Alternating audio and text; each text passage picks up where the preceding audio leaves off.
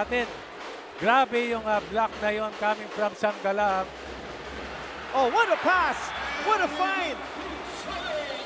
Gio Ambohon. Score ka, free throw lang ay ibibigay namin sa'yo. At ngayon si Paulo Hernandez na nakabantay dito kay Abando.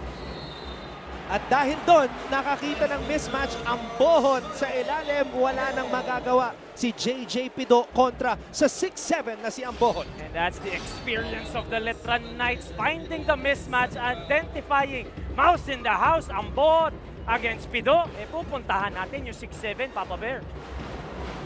Fran Yu, hindi pa nakakapuntos dito sa ating laro. Ambohot, spin move. Ambohot, napakalalim! The footwork of Gio Ambohot. The... Ambohot, nakalibre! Kaya lang, nabawi agad.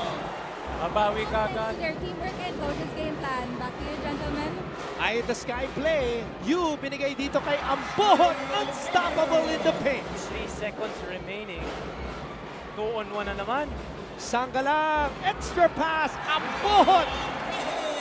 Nararamdaman na!